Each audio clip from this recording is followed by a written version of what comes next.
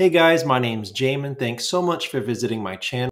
In this video, I'm working on a Lenovo Legion Pro 5i, the 16-inch Gen 9 version.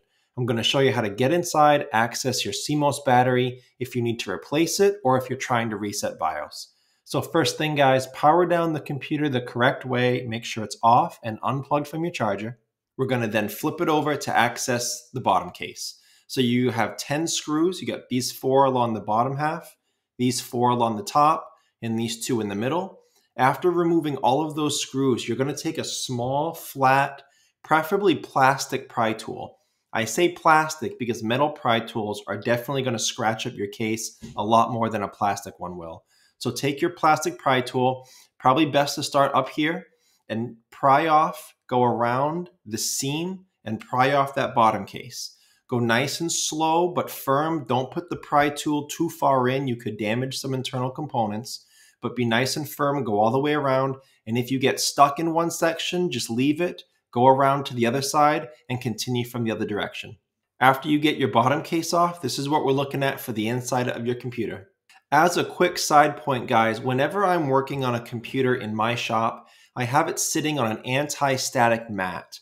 Either that or an anti-static bracelet are great ideas to help you avoid damaging things in your computer when you're working on it.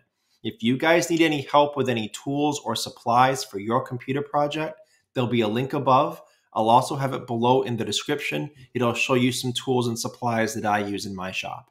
Now, before I do anything in a computer, I always either remove or at least unplug the battery. It makes it safer to work on the other components. Now here's the battery here across the bottom of the screen.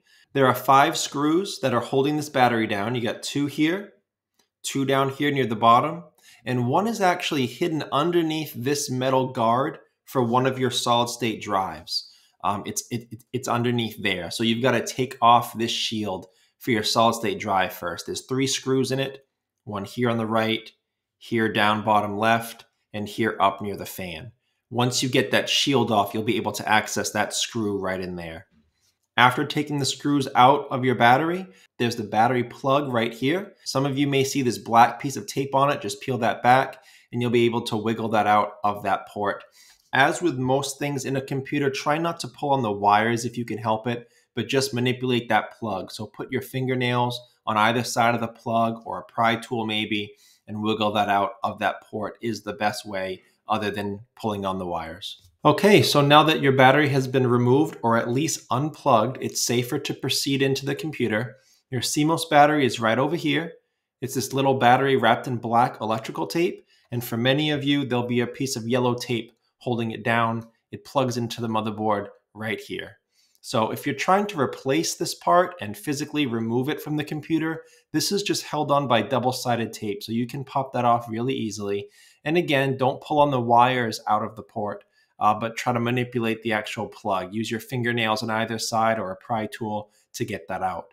If you're here to manually reset BIOS by temporarily unplugging your CMOS battery, it's not necessary to physically remove it, just unplug it. And once you leave it unplugged for 15, 20 seconds, that should be sufficient to reset your BIOS settings.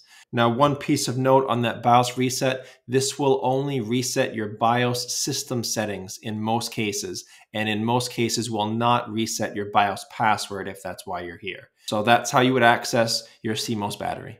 So that's the video, guys. I hope it was helpful. If you have any questions, check out the FAQs below in the description. It could save you some time getting an answer. If you do need to leave me a question or comment, please do. I do try to get to those a couple times a day at least.